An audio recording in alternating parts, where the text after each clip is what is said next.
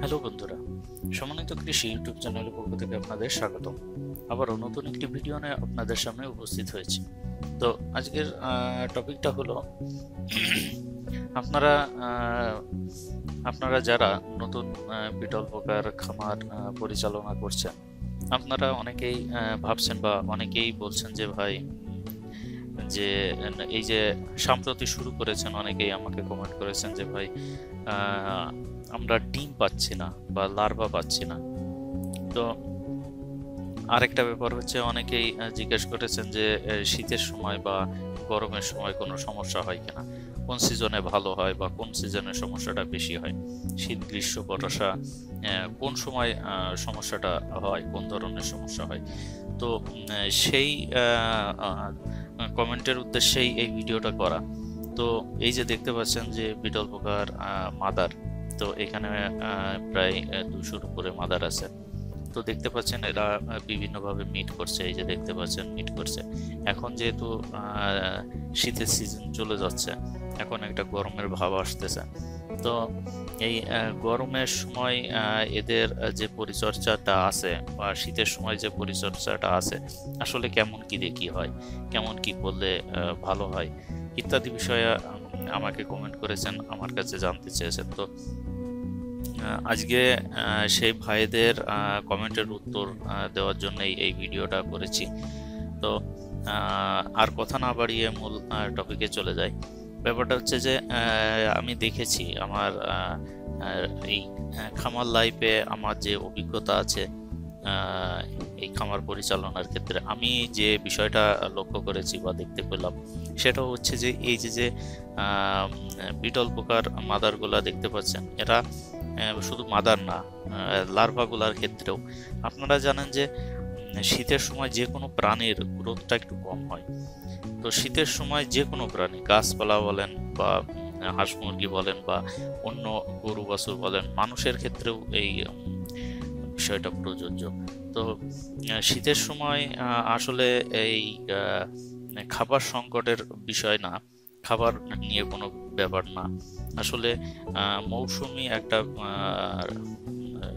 ব্যাপার থাকে। তো শীতের কারণে বিভিন্ন সমস্যা হয়।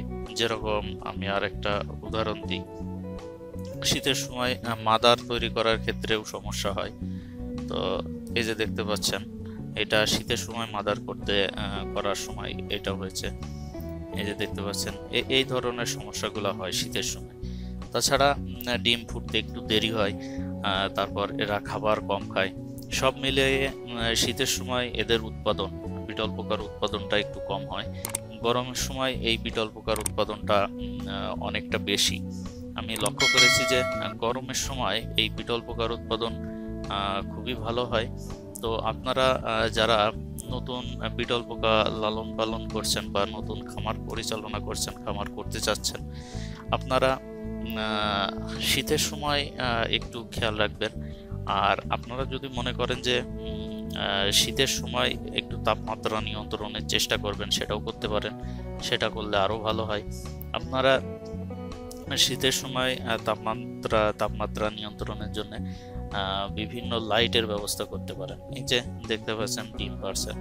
এগুলো ডিম, এই যে, এদিক দিয়ে, এই যে, ভালোভাবে দেখায়। এগুলো কিন্তু ডিম।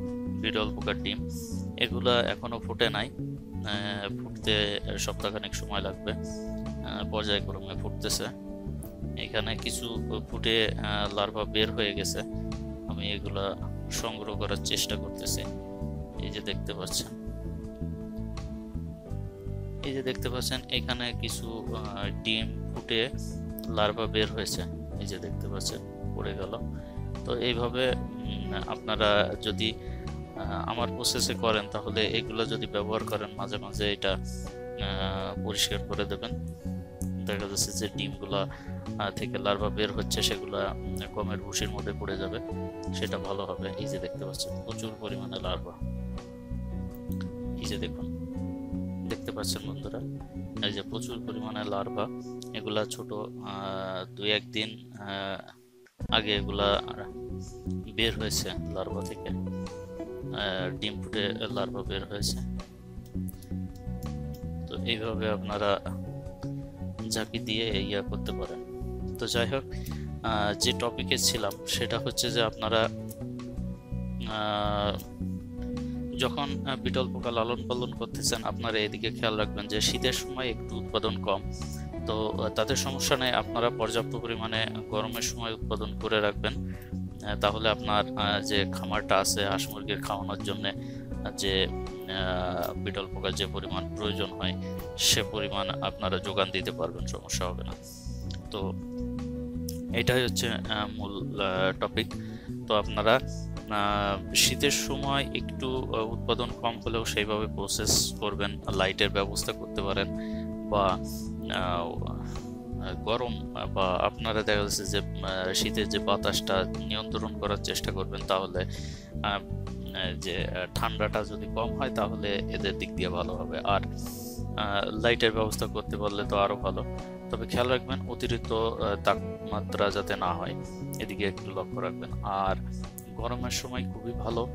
তো শীতের যে আপনারা উৎপাদন কম পাচ্ছেন, সেটা গরমের সময় পুষিয়ে নেবেন, সেভাবে একটা পরিকল্পনা করে কাজ করবেন। তো আজকে এই পর্যন্তই।